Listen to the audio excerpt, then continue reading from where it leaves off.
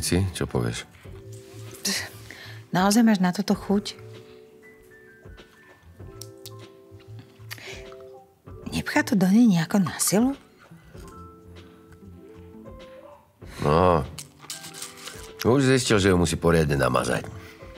A pretočiť na prsia. Je to profesionál. Veď tam obchal obe ruky. Ešte si ich kolízol. Ale Podľa mňa už bude za chvíľinku hotová. preboha, a prečo zavezuje nohy? Aby mu neutekla zo stola. To až nehneve sa, ale ja robím plnenú kačku úplne inak.